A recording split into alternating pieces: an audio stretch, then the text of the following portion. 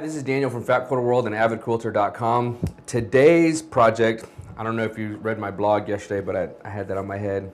And it really inspired me. This is actually a frame that was on our wall up here that was empty. And so we decided, and I had this brilliant thought, which is not really that brilliant, but we were going to resurrect the frame and bring it back and make a memory board slash whatever else you want to call it.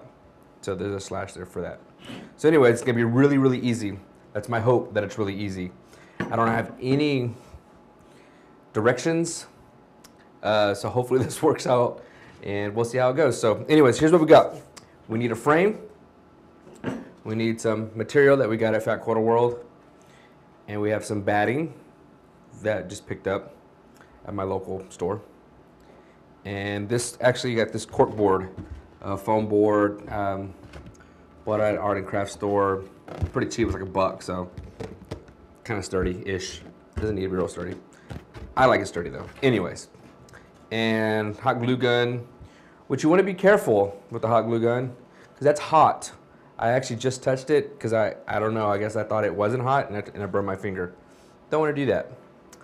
And some scissors, cutter, whatever else you need to get it all worked out. Anyways, First things first, you want to measure the back of this to make sure that it's going to fit inside there. This one happened to be 8 by 10 pretty easy. So I just got my foam board, made my measurements, cut it out. So I got my little piece here ready to go. And you basically want to do that with everything. After you get that cut out, get your batting, same thing, cut it out to the piece you're going to need, and the fabric as well. I Like I said, this I got a Fat Quarter World, uh, just a plaid piece of fabric. I thought it was kind of nice. Um, I think it goes well with the red. And you know, I almost forgot what we're gonna do also we have these uh, little strips here that I cut out that I'm gonna put across like that. And I thought it'd be kind of cute, personally. And we'll see how it works. So here we go. First things first. And I'm gonna put some hot glue on the corners just to kind of hold down my batting. Don't put much, just enough to hold it down. I think that came out too fast. Also, just to let the viewers know, I found out this morning that my wife is pregnant and I'm excited. Okay, so we're gonna lay the batting down on there. Just kind of tap those edges down. Don't tap too hard because that glue is still pretty hot. I can feel it. All right, so that's on there and it's in place. It's not coming off. Alrighty, so take your fabric. Just lay your fabric down. So you lay it down here. Kind of get your fabric set in place. Okay, so what I need to figure out, I guess I can just do a strip of glue.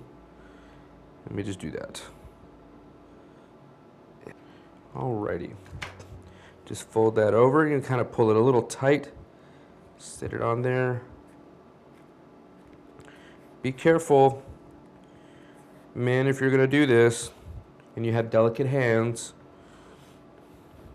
wear gloves. All right, that's on there.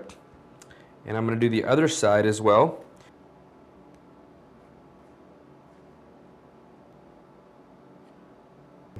All right. Got those in. And now these corners, you don't want to just fold it down. We're going to kind of like if you're folding a, like gift wrapping a present, you're gonna kind of make your edge kind of a diagonal fold like that first. So we'll do that, and we're gonna put glue on here first before we fold because it ain't gonna go anywhere. So just kind of glue that edge down there, put some glue on it. Alrighty. Again, do that little gift wrap foldy thing. I don't have a real technical term for it. So let's do that on both sides. Ah, just touch the glue. Burns, it burns. Touched it twice. Not good. Okay. Well, this side didn't work out so well. And I got glue on my finger. Eh. But you know what? At least I'm trying. So that's always a plus. So anyways, let's do the other side, same thing.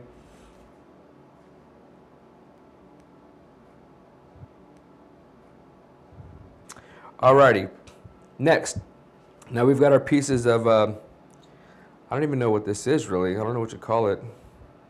We got it in the area of the store that does uh, the drapes and things. I thought it was kind of cool.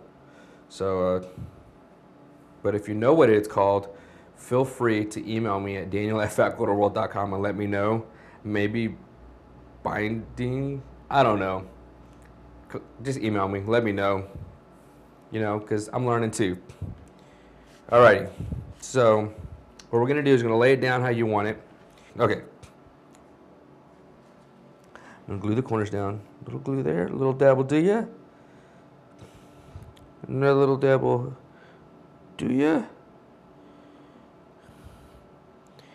And whatever you do, guys especially, because you probably don't work with hot glue a lot, resist the temptation to smudge, as I was told, because it could come out and burn you. But I've already been burned, so. Alrighty. So that's in place. Hey, look at that. Looks good. I did good. I guess the same thing here. Just put some uh, glue down.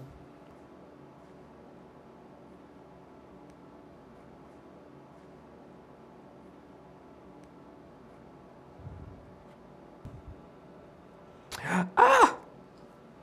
See what I did? I pushed it out, burned my finger. Both of them. Ah. Okay. So that's kind of what we got. Yeah, looks all right. I like it. Okay, so now I've got two more pieces that I'm going to put the other direction that, and I got glue everywhere. It's awesome. I guess I'm going to go this way with it. Perhaps. Should look pretty well. What kind of, well anyways, I like it. This is fun. Okay.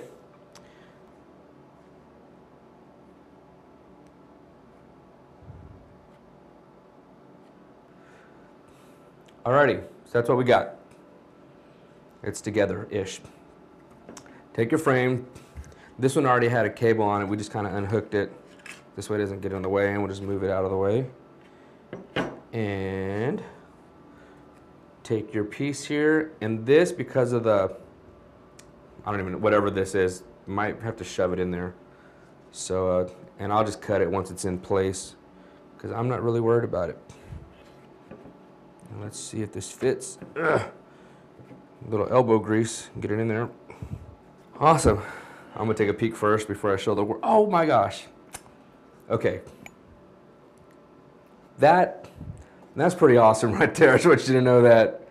I don't care who you are, guy, girl, whatever. That's just too cool. All right, guys. I can do it. You can do it. And you know what? You can lie about it. Say your wife made it. Say your kid made it. Whatever you want to do. But this is awesome. Or if you want to be a real man and just admit it, admit that you made it. So, pretty simple. Some fabric, some ropey stuff, some hot glue, an old frame, and some foam board. You can't beat it. This was awesome. Alrighty, well, this is our uh, second episode of Man versus Quilt, or Craft, excuse me. And I would have to say that this is two for man, zero for craft. And uh, if you've been reading my blog or saw my last video, we're doing a challenge. So send me some ideas of some things that uh, you think that uh, I can't do or that I can do. Or if you've got any ideas and just pointers on uh, how I can uh, improve, feel free to email me at daniel at fatquarterworld.com or check out avidquilter.com and go to our blog there and feel free to leave me a comment. All right, well, this is Daniel again from Fat Quarter World and avidquilter.com, and we hope to see you next time. And um, be sweet and uh, keep crafting.